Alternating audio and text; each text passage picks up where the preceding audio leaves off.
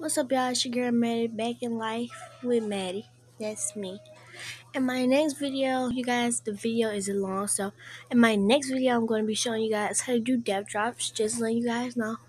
Bye.